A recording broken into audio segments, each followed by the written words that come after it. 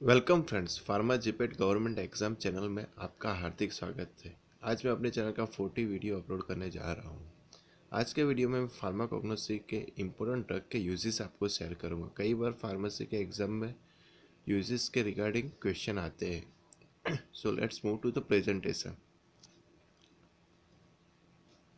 important uses of herbal drug the first is carminative carminative का definition क्या है? Which removes gas from the stomach और intestine so is to relieve flatulence जो पेट में से गैस दूर करता है, उसको कार्बोनेटिव कहते हैं।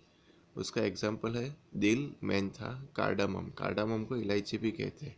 दिल मेंथा कार्डामम कार्बोनेटिव के तौर पे यूज़ किया जाता है। उसमें असाफोटिडा भी इंक्लूड किया जा सकता है। असाफोटिडा भी कार्बोनेटिव है। Second is emetic emetic means which produce vomiting उसके एग्ज़ाम्पल है इपेकाक इपेकाक इमेटिक के तौर पे यूज़ किया जाता है।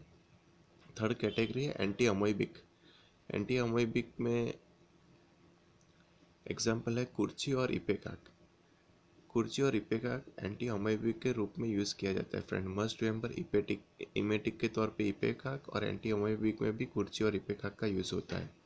कार्बोनेटिव में दिल मेंथा कार्डामम और असाफोटिडा का यूज़ होता है। Fourth category bulk laxative. Bulk laxative में अगर इसबगुल बनाना का यूज़ बल्क लग्जेटिव के तौर पे किया जाता है? फ्रेंड, मस्ट रिमेंबर अगर इसबगुल और banana bulk laxative. Fifth category purgative. Purgative में सेना और कैस्टर ऑयल का एग्ज़ाम्पल है। सेना और कैस्टर ऑयल परगेटिव के तौर पे यूज़ किया जाता है। Six peptic ulcer treatment. अगर हमें पेप्टिक अल्सर हुए तो कौन से ड्रग यूज़ की जाती है? उसमें एग्ज़ाम्पल है डेरिवेटिव ऑफ़ ग्लिसिटिनिक एसिड। वो ग्लिसरीजा ग्लेब्रा में से मिलता है, उसको मुलेठी भी कहते हैं। और उसका इंग्लिश नेम है लिक्वराइज बेप्टिकल्चर में लिक्वराइज यूज़ होता है। प्लस रो बनाना भी यूज़ होता है। सेवन्थ कैटेगरी है एक्सपेक्टोरेंट एक्सपेक्टोरेंट का डेफिनेशन क्या है? Which removes promote the expulsion of mucus from the respiratory tract जो हमारे बॉडी में से म्यूकस को निकाल दे रेस्पिरेटरी ट्रैक में से उसको एक्सपेक्टोरेंट कहते हैं।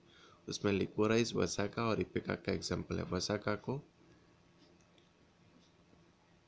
अर्डूसी भी बोलते हैं, अर्डूसी।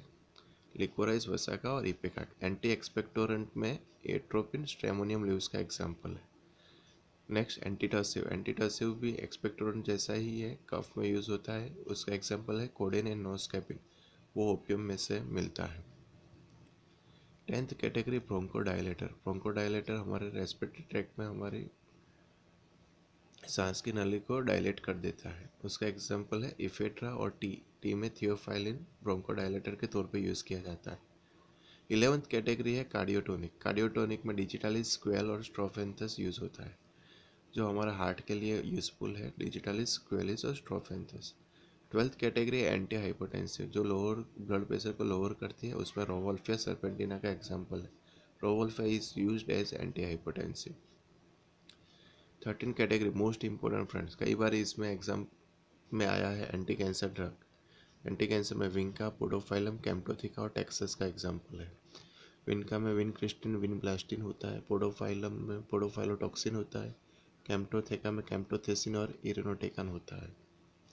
और टेक्सस भी anti cancer fourteen category anti rheumatic जो हमारे जॉइंट्स में पेन होते हैं एंटी रोमेटिक उसको दूर करता है। उसमें एग्ज़ाम्पल है एकोनाइट कोल्चिकम और guggul friend must remember aconite colchicum और guggul use as anti rheumatic ये भी कई बार एग्ज़ाम में आया आ चुका है।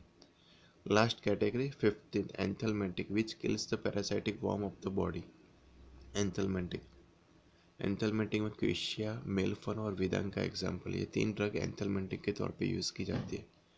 फ्रेंड्स इस वीडियो को बार बार देखिए। ड्रग और उसके यूजेस बहुत ही इंपॉर्टेंट है। मैं अपने आने वाले वीडियो में और ड्रग और उसके यूजेस शेयर करूँगा।